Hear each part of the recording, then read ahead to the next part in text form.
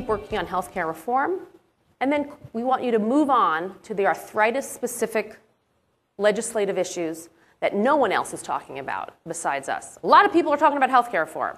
We want you to move on after saying to keep moving with healthcare to the arthritis specific legislative agenda.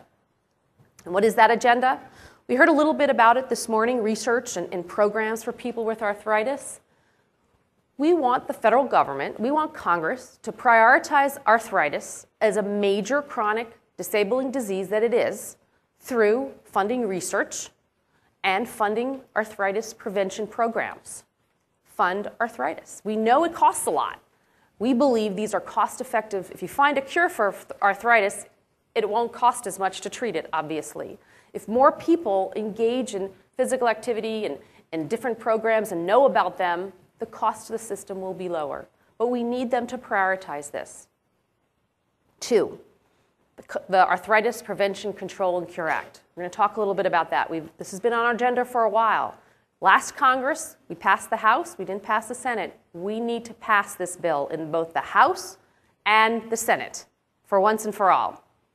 And as I said, keep working on health care reform.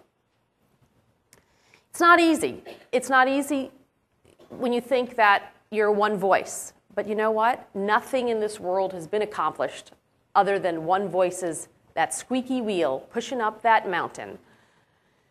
So if you want to have something you've never had, like the passage of the arthritis bill, you must be willing to do something you've never done. And for many of you, being here today is something you've never done. And that, so that's terrific.